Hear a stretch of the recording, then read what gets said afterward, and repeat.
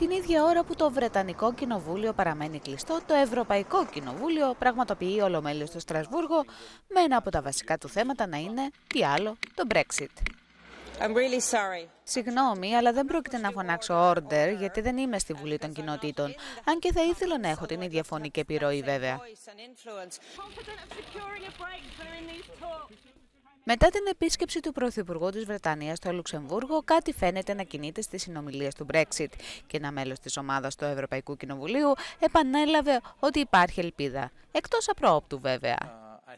Πιστεύω ότι ο Μπόρις Τζόνσον εργάστηκε πολύ σκληρά τα τελευταία χρόνια για να προβάλλει μια εικόνα ενός ατόμου που δεν είναι αξιόπιστο, τουλάχιστον για την Ευρωπαϊκή Ένωση των 27 και έχει ο ίδιος επιτύχει σε αυτό. Αποστολή εξετελέστη λοιπόν.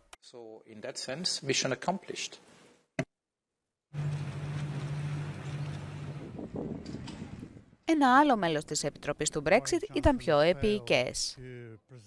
Ο Μπόρις Τζόνσον δεν κατάφερε να παρουσιάσει οποιαδήποτε εναλλακτική λύση στο λεγόμενο backstop. Κάτι που επιβεβαιώνει ότι είναι δύσκολο να επιτευχθεί συμφωνία στην επόμενη Σύνοδο Κορυφής.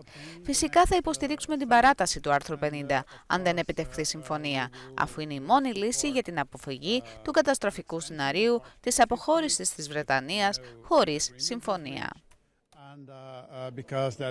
It looks to be the only uh, solution to avoid the catastrophic no-deal scenario.